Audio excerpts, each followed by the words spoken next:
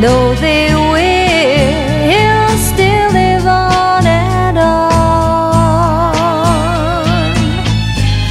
But how do you thank someone who has taken you from crayons